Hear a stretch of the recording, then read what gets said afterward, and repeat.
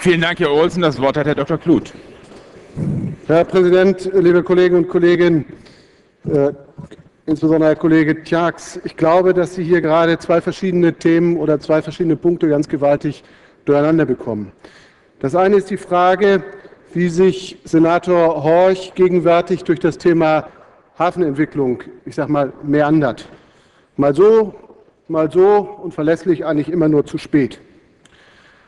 Aber das andere Thema ist, wie wir mit der Westerweiterung als Teil der langfristigen Hafenentwicklung umgehen wollen. Und ich finde, wir sollten beide Fragen, beide Themen sehr sorgfältig voneinander trennen. Zunächst für Herrn Horch. In der Tat, Sie haben es gesagt, im Oktober noch optimistische Umschlagsprognosen, 25 Millionen Toll in 2025. Fünf Monate später Pressegespräch, Dienstag nach Ostern. Der Wirtschaftssenator beschreibt die Zukunft des Containerumschlags in düsteren Farben. Aber stellt sich die Frage, was hat sich eigentlich in den letzten fünf Monaten an der Situation des Seegüterverkehrs geändert?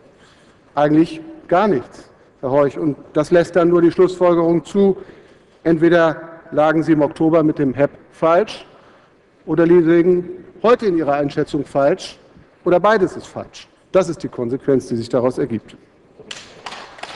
Und dann, und dann, und dann kommen wir zur Kostenentwicklung. Das hat Herr Tjax auch angesprochen.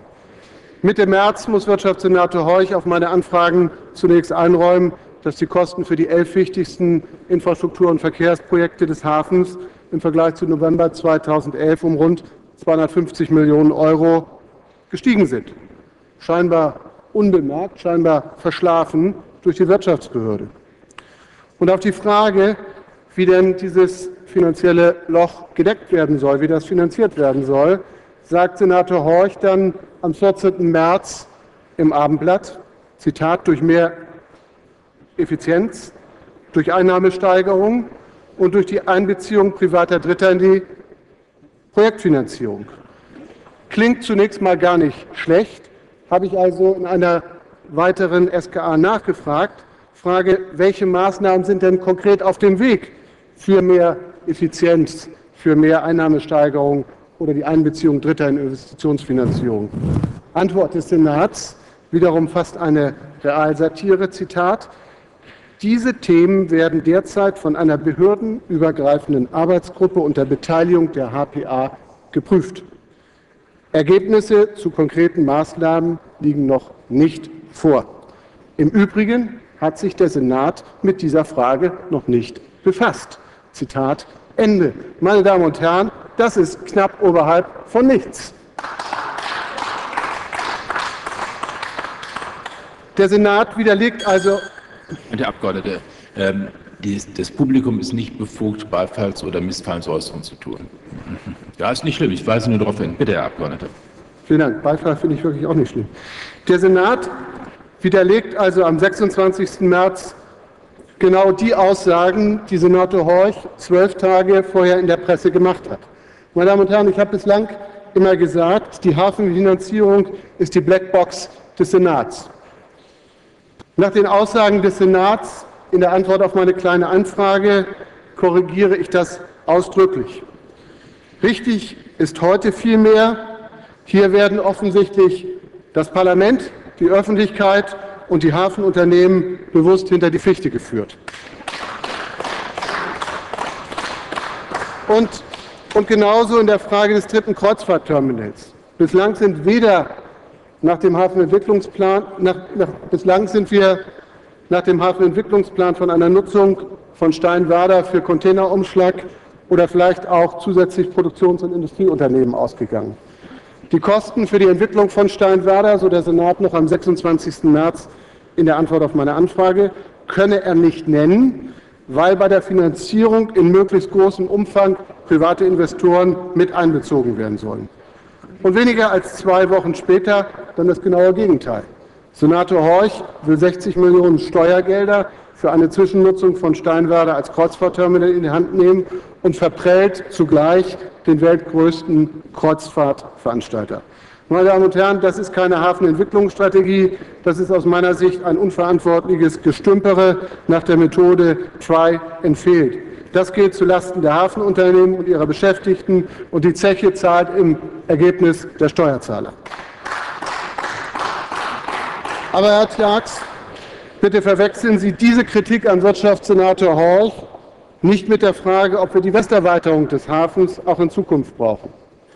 Wir haben nach wie vor im Hafenentwicklungsgesetz, und das ist die gültige gesetzliche Grundlage, das Bekenntnis zum Hamburger Hafen als industrieverbundenen Universalhafen mit einem Schwerpunkt im Containerumschlag.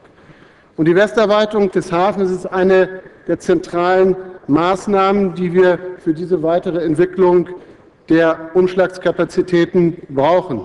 Und Herr Tjax, alle Experten sagen uns, dass der internationale Seegüterverkehr auch in den nächsten Jahren und Jahrzehnten weiter zunehmen wird. Ob in dem Umfang, wie es im HEP prognostiziert wird. Darüber mag man sicherlich streiten, da habe ich auch meine Zweifel.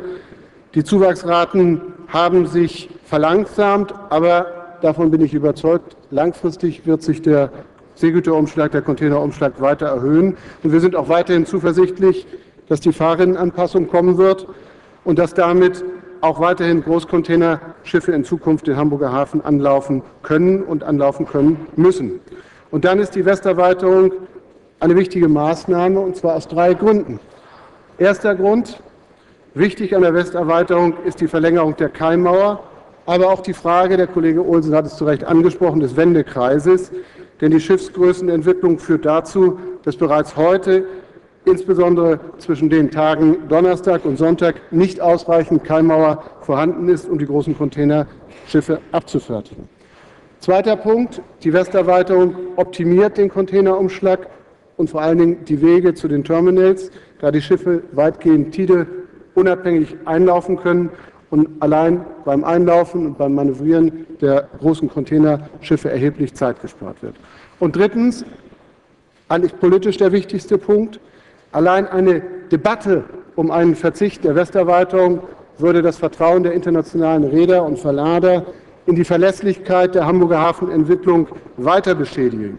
Und dieses Vertrauen ist durch die bisherige Ankündigungspolitik von Senator Heuch bereits erheblich demoliert. Da sollten wir nach dem Stopp der Elbvertiefung und den Problemen nicht noch ein zusätzliches falsches Signal setzen.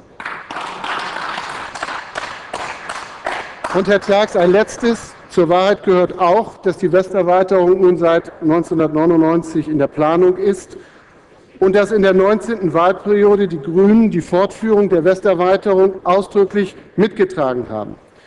Wenn ich nun Ihrem Antrag sehe, dann sollten sich die Hamburger Hafenunternehmen und auch ihre Beschäftigten, die sollten gewarnt sein, was die Verlässlichkeit und die Zuverlässigkeit der Grünen in grundlegenden Fragen der Hafenentwicklung betrifft. Meine Damen und Herren, heute stand im Abendblatt ein sehr kluger Kommentar den ich völlig richtig fand. Zitat, wer Hafenausbau auf Sicht betreibt, gerät in Gefahr, kurzfristige Trends, kurzfristigen Trends zu folgen und langfristige Entwicklungen zu verpassen. Zitat Ende. Dem ist eigentlich wenig hinzuzufügen. Insofern lehnen wir Ihren Antrag in der Sache ab. Im Ausschuss darüber diskutieren kann man ja mal. Darum werden wir der Verweisung zustimmen. Vielen Dank für die Aufmerksamkeit.